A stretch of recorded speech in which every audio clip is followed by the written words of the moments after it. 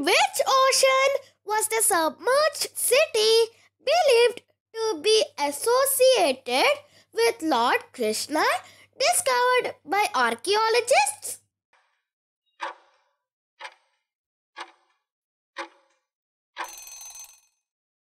The answer is Arabian Sea.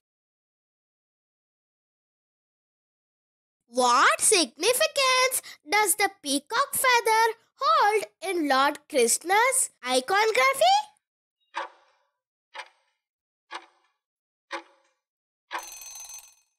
The answer is it represents the victory of virtue over vice. As per Hindu mythology, what was Radha's last wish before her death?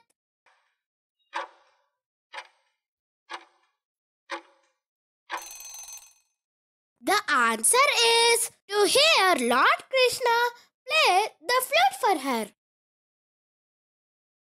How many children does Lord Krishna have?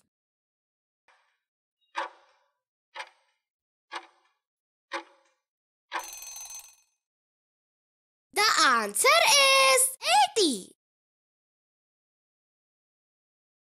Why did Lord Krishna break his flute according to Hindu mythology?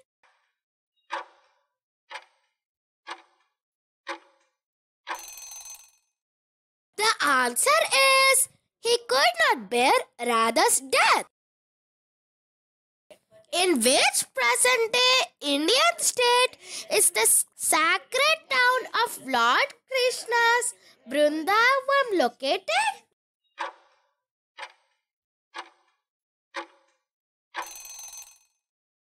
The answer is Uttar Pradesh. Please like, share, and subscribe.